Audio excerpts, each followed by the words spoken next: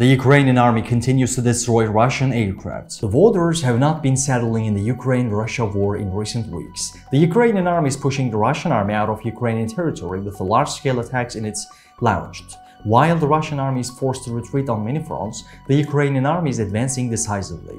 While the Russian army has lost its modern weapons and combat vehicles since the beginning of the occupation, the Ukrainian army continues to expand its weapons inventory with the support of Western countries, while the Kremlin, which is in a difficult situation on the territory of Ukraine, continues to desperately threaten Ukraine and Western countries with nuclear weapons. They suffered a loss again yesterday afternoon. The Ukrainian army destroyed Russian Mi-24 helicopter.